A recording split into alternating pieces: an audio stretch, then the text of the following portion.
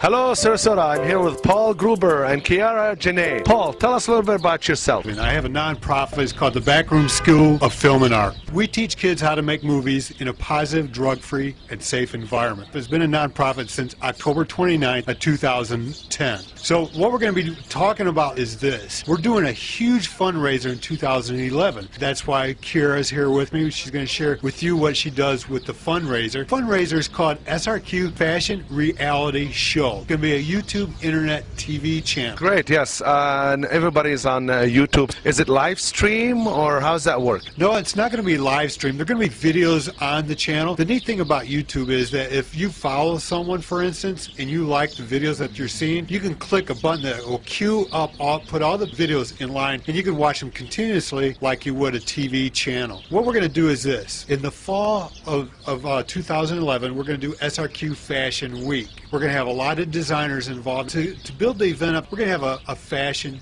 reality show. And the fashion reality show is going to do, it's going to create a guideline uh, as far as how to get involved in the event. It's going to be like a commercial. So if you have a video on that YouTube channel, people are going to be looking at it all the time. It's going to be continually running. And I know for a fact that if you have a video on this channel, I'll be able to get your commercial in front of 10,000 people. That is great. It's all about uh, marketing. It's all about networking, getting in front of people. As the uh, Fashion Week, SRQ Fashion Week that you are talking about, are you going to have an opening or a premiere? What do you do uh, to get it launched? Fashion Week. We're going to have the audition party. Going to be in September. We'll have SRQ Fashion Week audition party. At this audition party, we'll have last minute entries for models that might want to get involved in one of our fashion shows. And we're also going to be announcing the winners at that event as well. So that'll be the launch. The actual SRQ Fashion Week is going to be the end of October. So you're starting right now, put everything together for the October SRQ Fashion Week. And now we are going to talk a little bit with Kiara. Tell us a little bit more on what you do and how are you involved. Oh, I'm actually the entertainment spokesperson. I'll be going around interviewing different boutiques, interviewing the celebrity judges who are going to be participating in the event, getting their outtake and their opinion. What would fashion do for Sarasota?